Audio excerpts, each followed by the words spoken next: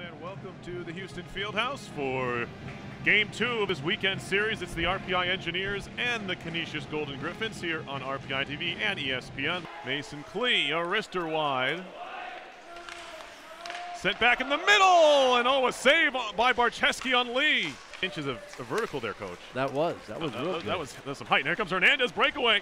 Walking in, Hernandez scores. Randy Hernandez just snuck it by the glove hand of Watson, and we're tied at one. Wow, that was right off the face-off. He came out of that zone like he was shot out of there. I had a feeling he might score tonight. We talked about him being a point per game player. That corner, that short side was open. Four seconds in the power play here, and it's in the net. I think it's going to be after the release of the first penalty. That was Hernandez. I don't know if he put that in behind him on the initial or whether he had support. He finished off the play out front. Mastrodonato makes a move. Mastrodonato walking in, he scores, and Canisius wins it.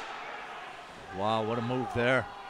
Got caught playing the puck instead of playing the man on that one-on-one, and you don't want to do that against the Mastrodonato with his uh, skill level. Tough loss for RPI here in overtime.